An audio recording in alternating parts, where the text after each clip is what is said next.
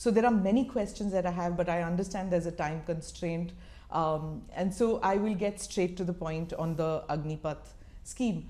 Was there any need to tinker with a scheme which has been working with a process of recruitment and a system of hierarchy which has been in place for so long? There is a need to look at it in a perspective.